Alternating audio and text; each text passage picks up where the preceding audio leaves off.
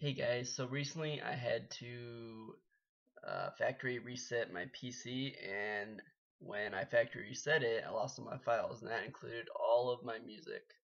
So I've been trying to find a way to get all that music back. I have it all on my iPod but the problem is I have an iPod touch so every time you connect it to the computer it reads it as a camera and therefore you cannot look at your audio files. So I did a lot of searching and a lot of trial and error. You could say that. I went through a lot of programs trying to find this being one of them that was just a free trial and I didn't want to do it a billion times. There'd be song limits on them, so I finally found this Syncios program, which I think um, you guys will find this useful. So, if you want to go to their website, it's syncios.com. Then we can go under here, products, Syncios free and then there's your Windows download. You can also do a Mac download right there. Um, you know, I'm not sure what the pro version entails, but I just went with the free one and I could do unlimited songs, so that's what I did. So once you download that, you're going to want to open that up. It has you open up iTunes as well. You can see I got all my music in there now. So then we'll connect our iPod here.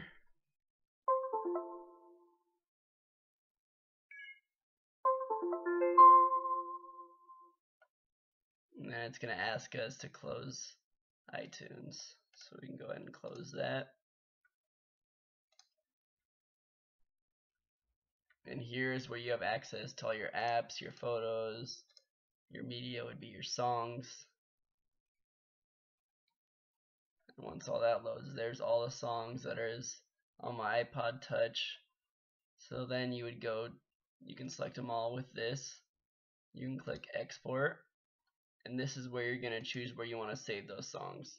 So right now I made a folder in my music called iPod Music. Now it will take about 10 minutes. See, as you can see I have 10 gigs of music.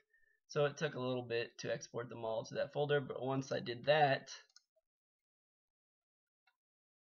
let's see here, uh, boom, all these songs went into the folder. So then I was able to open up iTunes and literally just copy all of these songs and dragged them into iTunes.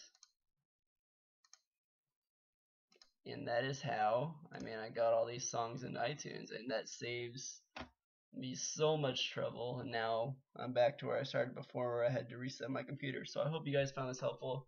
If you have any questions, uh, just go ahead and leave those in the comments. I don't really know too much about all this stuff, but I can try and help you out. And uh, yeah, thank you.